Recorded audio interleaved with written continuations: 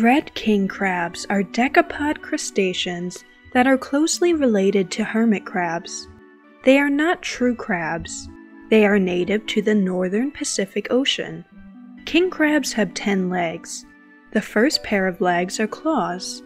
The right claw is usually the largest. The next three pairs are their walking legs. The fifth pair of legs are normally tucked underneath.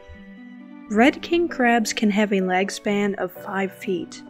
They are edible and harvested commercially. Their bodies are covered in sharp spines.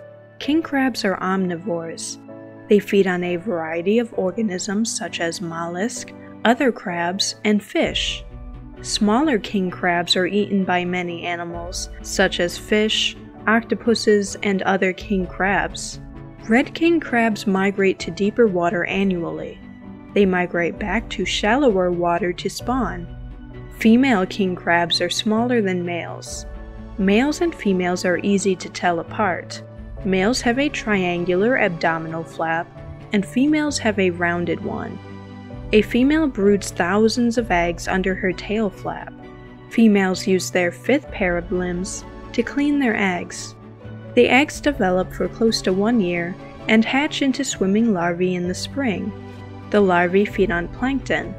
Larval crabs go through several stages over a few months before settling on the bottom.